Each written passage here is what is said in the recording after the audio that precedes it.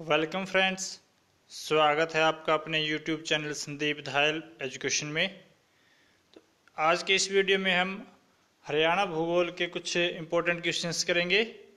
यह जो है वो जोग्राफी से रिलेटेड दूसरा वीडियो है। आपको जो मेरा पहला वीडियो बहुत पसंद आया था तो इसलिए मैंने इसका दूसरा भाग भी तैयार किया है। अगर आपने अभी तक पहला भाग नहीं देखा है तो आप जो है वो मेरे चैनल पर से देख सकते हैं। आपको जो पहले भाग का लिंक इस वीडियो के डिस्क्रिप्शन में भी मिल जाएगा और जो है, मैं इस वीडियो के अंत में भी उसका लिंक आपको दे दूँगा। तो फ्रेंड्स अगर अभी तक मेरा चैनल सब्सक्राइब नहीं किया आपने तो इसे सब्सक्राइब कर लीजिए और सब्सक्राइब करने के बाद घंटी वाले आइकन पर ज़रूर क्लिक कीजिएगा। तो इससे जो है, जैसे मैं वीडियो अपलोड करूँगा तो उसी टाइम आपको उसकी नोटिफिकेशन मिल जाएगी। और अगर आपको वीडियो पसंद आए तो इसे लाइक करें और अपने फ्रेंड्स के साथ शेयर भी करें। तो आइए स्टार्ट करते हैं। ज्योग्राफी के क्वेश्चंस सबसे पहले कि हरियाणा की जलवायु की क्या विशेषता है? तो हरियाणा की जलवायु की विशेषता की ग्रीष्मकालीन यानी गर्मियों में जो है ऊँचा तापमान होता है और वाष्पीकरण की अधिकता होती है। तो यह हरियाणा की जलवायु की मुख्य विशेषता है। नेक्स्ट है कि कौन सा स्थान जो है मोरनी पहाड़ियों का सर्वोच्च शिखर है? तो मोरनी पहाड़ियों का सर्वोच्च शिखर है क्रोह। क्रोह जो है वो मोरनी पहाड़ी का सर्वोच्च शिखर है। मोरनी पहाड़ी जो है पंचकुला में है। नेक्स्ट है कि कौन सी नदी मारकंडा और टांगड़ी के जल को घग्गर में उड़ेल देती है? तो सरस्वती जो नदी है, वो मारकंडा और टांगड़ी के जल को है, वो घग्गर में उड़ेलती है। अभी जो सरस्वती नदी जो है, वो विलुप्त हो चुकी है। उसकी खोज जो है, वो फिर से दोबारा जो है, वो हरियाणा सरकार ने स्टार्ट की है। तो नेक्स्ट है कि क्षेत्रफल के अनुसार हरियाणा का कौन सा जिला सबसे बड़ा है? तो अभी जो है रिसेंट में चरखी दादरी जो है वो भिवानी से अलग होके बाईसवा जिला बना है। पहले जो वो भिवानी था, परंतु अभी जो है वो सिरसा क्षेत्रफल के अनुसार सबसे बड़ा जिला है। नेक्स्ट है कि हरियाणा राज्य में वन क्षेत्र कितना है? तो वन क्षेत्रफल जो है वो 1560 वर्ग किलोमीटर जो वो हरियाणा में है। नेक्स्ट है कि हरियाणा राज्य का कितना प्रतिशत भाग पहाड़ी एवं चट्टानी है, जिसको अरावली के अवशिष्ट पहाड़ियों के रूप में जाना जाता है। तो ये है ज़ीरो पॉइंट सॉरी, तीन पॉइंट ज़ीरो नौ प्रतिशत। तो अरावली की जो पहाड़ियाँ हैं, ये जो है मेवात, फरीदाबाद, गुड़गांव की तरफ़ है। वो जो शिवालिक की जो पहाड़ियाँ हैं, शिवालिक की पहाड़ियाँ जो है, वो है आपके इसमें पंचकुला यमुनानगर की तरफ़ में जो है, वो शिवालिक की पहाड़ियाँ हैं और अरावली की पहाड़ियाँ मेवात और इससे गुड़गांव फरीदाबाद की तरफ़ है। तो हरियाणा में जो दो दो जो है, मुख्य रूप से ये पहाड़ियाँ हैं। नेक्स्ट है कि भाखड़ा डैम प्रोजेक्ट के जन्मदाता किसे कहा जाता है? तो चौधरी छोटू राम थे, जिन्हें कि किसानों के मसीहा के नाम से भी जाना जाता है तो इन्होंने जो भाखड़ा डैम प्रोजेक्ट को जो है, वो उसमें बनवाने में जो है, मुख्य भूमिका निभाई थी। अगला क्वेश्चन है कि हरियाणा में कृषि विश्वविद्यालय किस ज़िले में है? तो जो एग्रीकल्चर यूनिवर्सिटी है यह है हिसार ज़िले में है यह है उन्नीस सौ ईस्वी में स्थापित की गई थी। नेक्स्ट है कि कृषि विश्वविद्यालय में धान पर शोध कार्य कब प्रारंभ किया गया था? तो जब 1970 में जो है, वो सबसे पहले जो कृषि विश्वविद्यालय हिसार है इसमें, धान पर शोध कार्य स्टार्ट किया गया था। नेक्स्ट है कि हरियाणा के किस भाग में हल्के भूरे रंग की रेतीली मिट्टी पाई जाती है? तो दक्षिणी पश्चिमी भाग में जो है वो रेतीली मिट्टी पाई जाती है। दक्षिणी पश्चिमी भाग जो कि सिरसा साइड में हो गया, सिरसा, हिसार, भिवानी, इस साइड में जो वो रेतीली मिट्टी जो है, इनके कुछ क्षेत्र में पाई जाती है।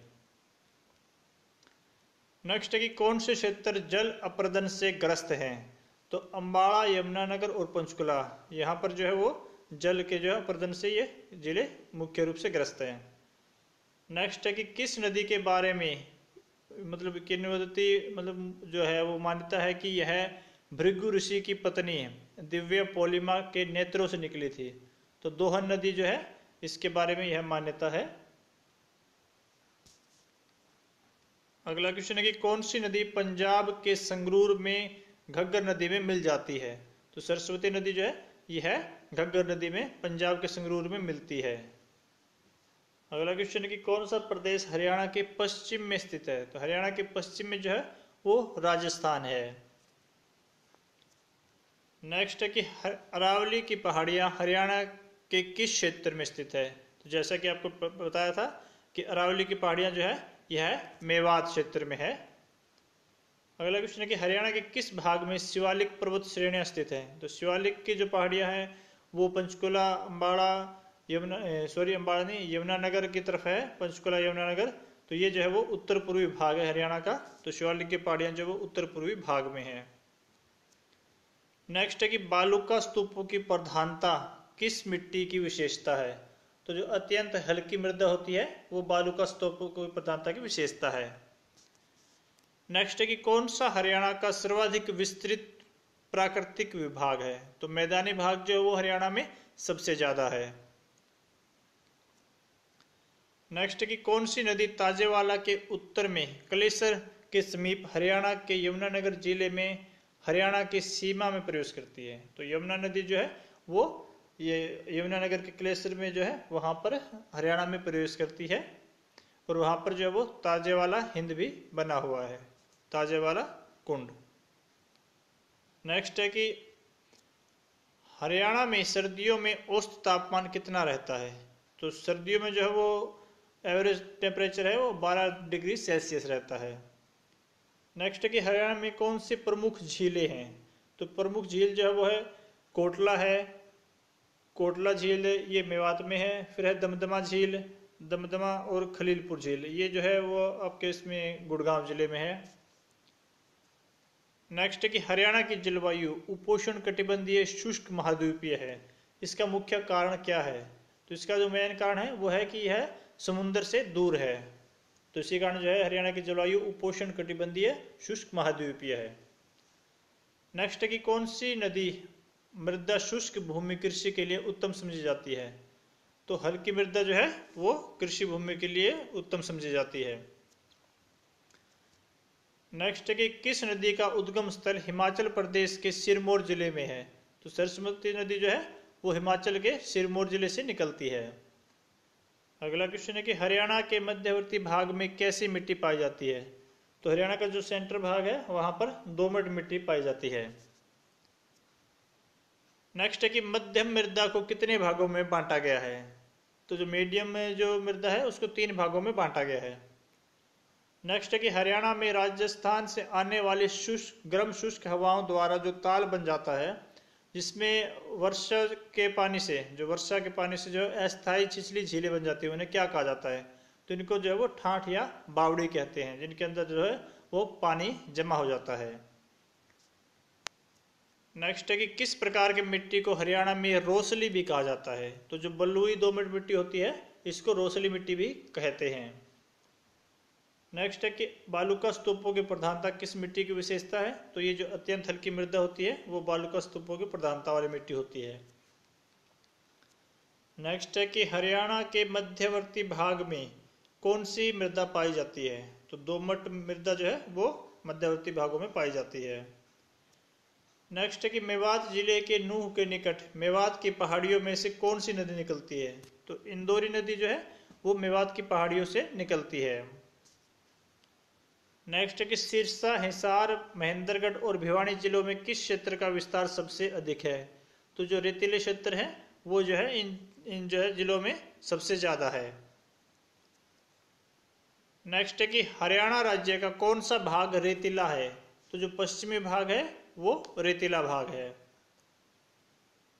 नेक्स्ट है, हरियाणा के अधिकांश भागों में किस प्रकार की जलवायु पाई जाती है? तो ज़्यादातर जो है वो हरियाणा में उपोषण स्टेपी जल जलवायु जो है वो पाई जाती है। अगला क्वेश्चन है कि कौन सी नदी मोलाना के समीप मारकंडा नदी में मिलती है? तो टांगड़ी नदी जो है, यह मुलाना के समीप मारकंडा नदी में मिल जाती है। नेक्स्ट है कि टांगड़ी किस नदी की प्रमुख सहायक नदी है? तो मारकंडा नदी की जो है, वो टांगड़ी मुख्य सहायक नदी है। अगला क्वेश्चन है कि हरियाणा के दक्षिण पूर्व में कौन सा प्रदेश स्थित है? तो दक्षिण पूर्व में जो है, वो दिल्ली जो कि भारत की राजधानी भी है और केंद्र शासित प्रदेश है, ये स्थित है। नेक्स्ट है कि अरावली की श्रेणियाँ हरियाणा के किस भाग में स्थित है? तो दक्षिणी भाग जो है, वहाँ पर अरावली की पहाड़ियाँ है। अगला क्वेश्चन है कि हरियाणा का कितना क्षेत्र वायु अपर्दन से प्रभावित है? तो लगभग जो बीस लाख हेक्टेयर जो क्षेत्र है, वो वायु प्रदूषण से प्रभावित है। नेक्स्ट है कि डॉक्टर व्लादिमीर कोपेन के अनुसार, हरियाणा में मुख्य रूप से कितने प्रकार की जलवायु पाई जाती है? तो यह है दो प्रकार की। अगला क्वेश्चन है कि नीबराणा सुरेठी व छुचक वास आदि क्षेत्र किस नदी से सिंचित किए जाते हैं? तो ये क्षेत्र जो है वो कृष्णावती नदी से सिंचित किए जाते हैं। नेक्स्ट है कि हरियाणा की जलवायु किस प्रकार की है? तो हरियाणा की जलवायु उपोषण कटिबंधीय शुष्क महाद्वीपीय जलवायु है। नेक्स्ट है कि कैथल के फरल गाँव में किस मेले का आयोजन होता है? तो फलगु का मेला जो है, यह कैथल के फरल गाँव में लगता है और यह प्रसिद्ध मेला है। नेक्स्ट है कि भगत कवि सूरदास का जन्म सिही गाँव में हुआ था। तो सिही गाँव हरियाणा के किस ज़िले में स्थित है? तो सिही गाँव जो है, यह फरीदाबाद ज़िले में है और यहाँ पर जो है वो सूरदास का जन्म हुआ था। सूरदास जो है वो वो अकबर के समकालीन थे। नेक्स्ट है कि जलोढ़ पंखों का निर्माण कौन से क्षेत्र में हुआ है? तो गिरिपाद मैदान के दक्षिणी भाग में जो है, वो जलोढ़ पंखों का निर्माण हुआ है और ये जो है, वो मोर, जो पंचकुला और यमुनानगर साइड में जो है, ये है। नेक्स्ट है कि हरियाणा के किस ज़िले के निकट मोरनी पहाड़ियाँ स्थित है? तो मोरनी पहाड़ियाँ जो ये पंचकुला में स्थित है।